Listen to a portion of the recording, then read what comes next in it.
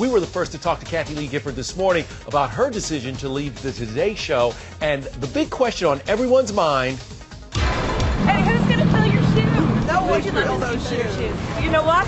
Whoever the, it is, is going to be the most blessed person on earth.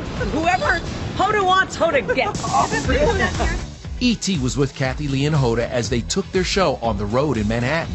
This is all about KLG. This Not is really. all- yes, it is. Oh, you wouldn't remember how to spell my name.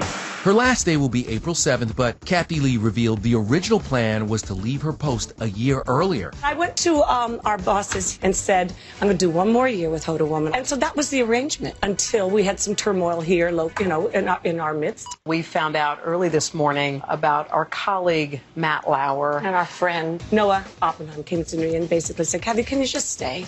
Stay a little longer. As ET reported, Jenna Bush Hager is now the leading contender to replace Kathie Lee. You know what? You, get, you, you deserve this. Whomever ultimately gets the gig, they will have a mighty task to duplicate their TV chemistry. Kathie Lee told me what it's like having that magic twice. Regis and Hoda. How great was it working with those two? Oh, you know what? I mean, how many people get lightning in a bottle two times in their life? When I retired from television because of, you know, I thought I'd done the best 15 years of television Yeah. I could do with the amazing Regis. And then to come back after eight years and, and, and be with Hoda, who, uh, you know, was Dateline Hoda back then. Yeah, she was. Now no. she's Happy Hour Hoda. Woohoo! Happy hour, Hoda. Kathie Lee is the best. And you know what? A little bit later, we're going to dive into the ET archives. We have spent so much time with Kathie Lee, her late husband, Frank, and their kids.